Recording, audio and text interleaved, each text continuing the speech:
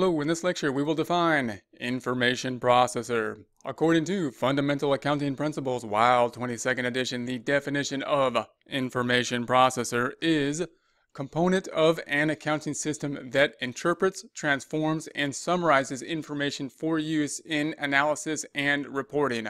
So we're talking about that point in the information processing where it is now being interpreted. It's now taking that raw data that has then been input and doing something useful with it, put it into a format that it can then be used in.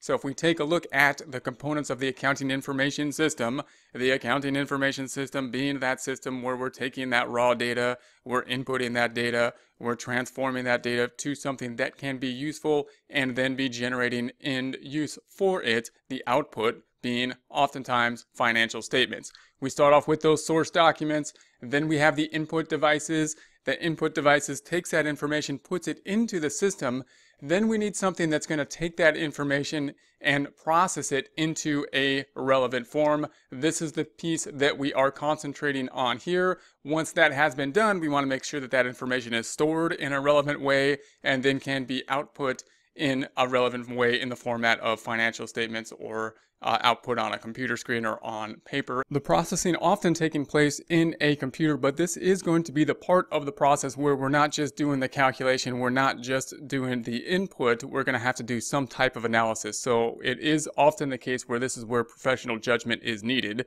so that we can take that raw data and put it into relevant form or set up a system in which that raw data can be transformed and put into relevant form. So we're looking at those types of things that can do that within this process. Things like journals, things like ledgers, things like uh, working papers. Those are going to be types of things that can be useful for the processing of that raw data into relevant form.